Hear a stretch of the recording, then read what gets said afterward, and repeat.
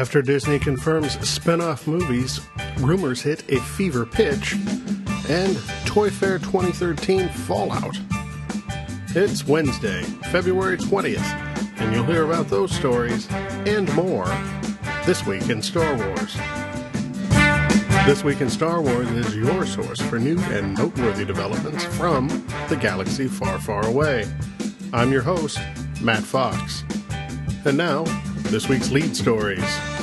Following official confirmation by Disney CEO Bob Iger that there would in fact be supplemental Star Wars movies standing alone and filling in the empty spaces between the release of episodes 7, 8, and 9, supposedly taking place over the six year period beginning in 2015, the internet immediately came alive with rumors, hypothesis, and well established fact about who those movies would be featuring as their prime characters. Entertainment Weekly came to the party with the most authoritative sounding report, citing sources, quote, close to the projects, which confirmed that they would be about a young Han Solo, focusing on his origin story, as well as a bounty hunter adventure featuring Boba Fett at the center of the action. In the very same article citing the certainty that these two projects had been given the green light, Entertainment Weekly hedged their bets, saying that, of course, such projects could be changed or sidelined or scrapped altogether. But, of course, the Internet echo chamber took this story and ran with it, as well as another one cited by Ain't It Cool News, which stated that there would in fact be a Yoda focused film. All of these stories, of course, have their supporting facts and hypotheses, but, of course, until there is official confirmation from Lucasfilm or Disney, they have to be filed under wild internet speculation. In fact, just one day after the initial Entertainment Weekly story ran, a source at Disney quickly went to Yahoo News to pour cold water over the rumors and to state quite emphatically that as yet no decisions had been made on which characters would be the focus of the new standalone projects. The toy industry descended upon New York City last weekend for the annual media blitz that is North American Toy Fair. As always, many of the Star Wars licensees were present in showing off 2013's upcoming product. Perhaps not surprisingly, many of the licensees appeared to be left in the lurch by Lucasfilm's decision not to release Attack of the Clones in 3D, as we had earlier been told to expect. Danish brickmaker Lego showed off a number of new Star Wars sets, many of which focused on Episode 2, including a new gunship, an arena battle with Count Dooku and Yoda, as well as a long awaited replacement for the ATTE, one of the most popular and expensive sets on the secondary market. Many of the action figures that Hasbro had premiered last summer at San Diego and in Orlando have now been repackaged and repurposed for release later in 2013 as part of the Black line, and not in the revived Build-A-Droid line, which has now officially been cancelled. Also now apparently officially cancelled are Clone Wars figures. Debuting in 2008 along with Season 1 of the animated 3D series, the subline of animated style figures exceeded over 100 figures over the years and managed with some success to focus on both the important recurring characters as well as some of the more interesting background characters. Along with most Hasbro product, of course, over the past two years, figures had become somewhat harder to find and numbers released were much smaller. And characters based on designs from the more recent seasons seem to be somewhat lacking in the line. Instead, now Hasbro will focus on the black line of both six and three and three quarter inch figures, as well as a revised Movie Heroes line of figures, which will be cheaper and more kid friendly at $6 suggested retail price and feature a Kenner-esque five points of articulation each.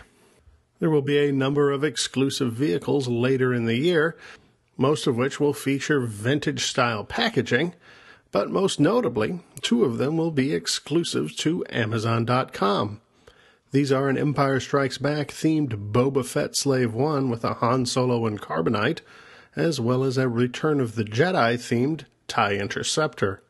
These will be the first exclusives for the Internet's largest retailer, and, if nothing else, can be seen as a symbolic changing of the economic guard as the world's largest brick and mortar retailer, Walmart, as of this point, has no exclusive for 2013. Pictures of the Hasbro, Lego, and other major Star Wars licensees' Toy Fair offerings are widely available on a number of the more popular Star Wars collecting websites. Two new Disney exclusive Star Tours 3 packs were announced this week. As in the past, there is a Rebel themed set featuring a G2 droid, C3PO, and an RX droid entitled Star Tours Sector 2 Security, as well as an Imperial themed set, The Search for the Rebel Spy, which will feature a Signal droid, a Seeker droid, and an Imperial Sky Trooper. No prices were announced for the sets, but they will be available in May of this year, coinciding with the Disney World Hollywood Studios Star Wars weekends, and they will spread to the other Disney resorts soon thereafter. Gentle Giant's jumbo vintage reproduction figures keep coming. Pre orders for the rocket firing Boba Fett vintage figure are currently processing and can be expected to arrive on porches across the country over the next week while the Premier Guild exclusive Gamorrean Guard, which includes an equally oversized jumbo reproduction Power of the Force coin, is already arriving. Those who have received it and have taken time to look at the card back noticed that 10 new jumbo figures are announced via the card back. These are Zuckuss, 4-LOM, Dengar, Luke Skywalker in Bespin fatigues, an AT-AT driver, a Rebel trooper from Hoth, Luke Skywalker and Han Solo from Hoth, and a snowtrooper. And when those figures are released, nearly half of the original Kenner line will have been reproduced in Gentle Giant's 12 inch line. The next entry in Sideshow's Mythos line of premium format figures, which features popular characters in slightly expanded universe situations, is Darth Vader, and it goes up for pre order tomorrow, Thursday, February 21st a couple of new announcements regarding Star Wars Celebration 2 Europe.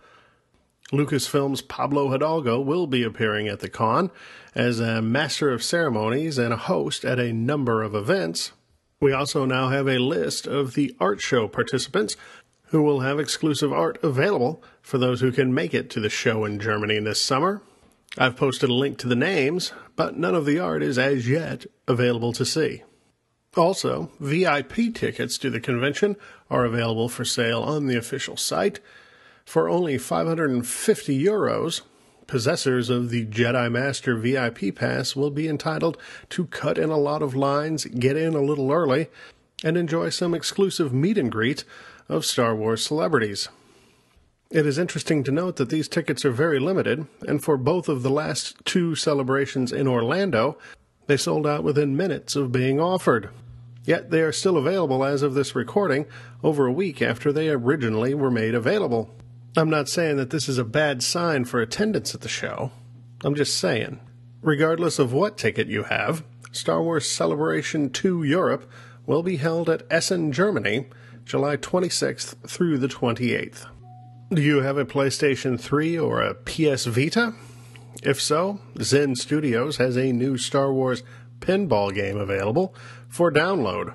Zen Pinball 2 is a popular pinball themed game for those platforms, and an Empire Strikes Back themed table will be available as downloadable content later this week. At your local comic book shop is issue number two of Dark Horse's new Star Wars title, and next week we'll see publication of Agent of Empire Hard Targets number five and Dawn of the Jedi Prisoner of Bogan number three. Although there has been no official indication that casting has begun for either Star Wars Episode 7 or any of the recently announced spin off films, it appears that when it does begin, there will be no shortage of applicants for the roles. This week's self proclaimed applicants include Keri Russell, who has worked with Star Wars director J.J. Abrams in the past on the television show Felicity, who says that she would do anything for J.J. Fanboy favorite Olivia Munn, currently star of the HBO series The Newsroom, has expressed an interest in joining the Star Wars cast. Those two actresses join an ever growing list of Star Wars alum who want to get the band back together, including this week Ewan McGregor, who insists that he would love a Star Wars fresh start with new movies and an Obi Wan Kenobi themed spin off. Frank Oz, the original and only voice of Yoda, as well as the puppeteer behind the diminutive Jedi in episodes 5 and 6, has expressed that he would be willing to return for a Yoda based spin off film.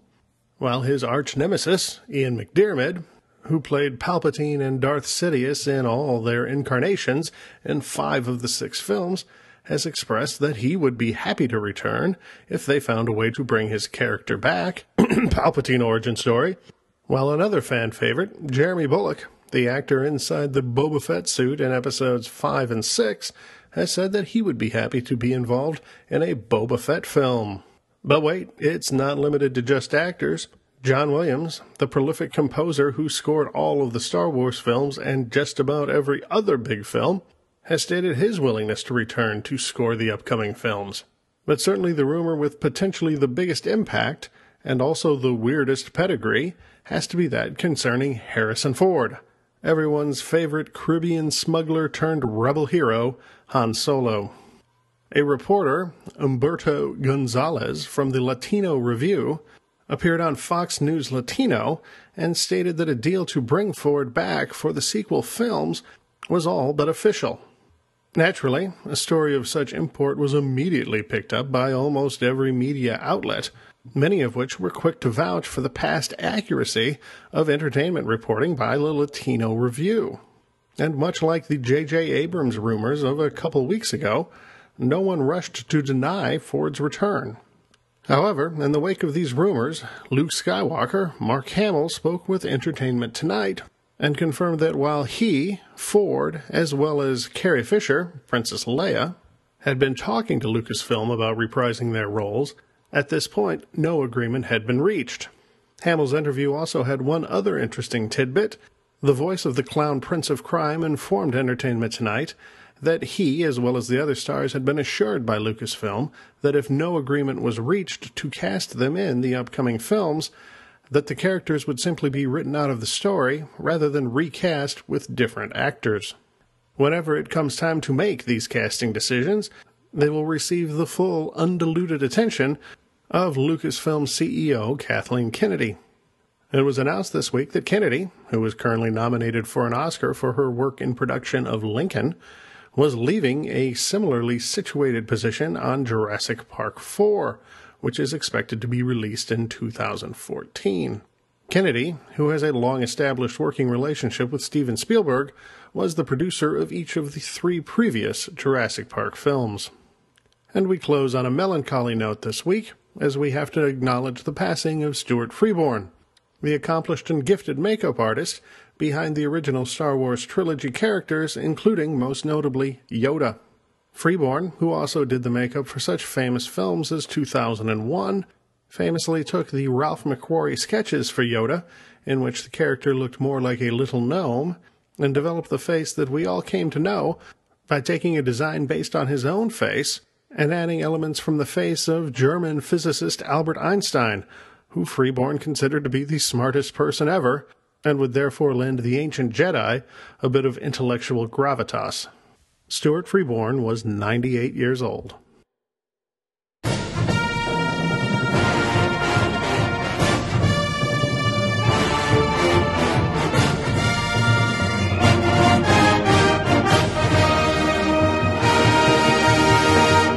Almost nothing about the upcoming Star Wars films aside from the fact that they're going to happen, and we have some writers and a director. But at this stage, just three months after the announcement of the Disney acquisition of Lucasfilm and that these films were going to take place, everything seems different. I find it interesting that there's already something of a revisionist movement out there that believes Star Wars was about to die in 2012. But if you were really paying attention, you know that's not true. According to Lucasfilm, Celebration 6 was the biggest attended celebration ever. We had the films coming out in 3D. We had Celebration Europe. We had the Clone Wars. There was plenty keeping Star Wars alive. I was there in 85 and saw Star Wars die then.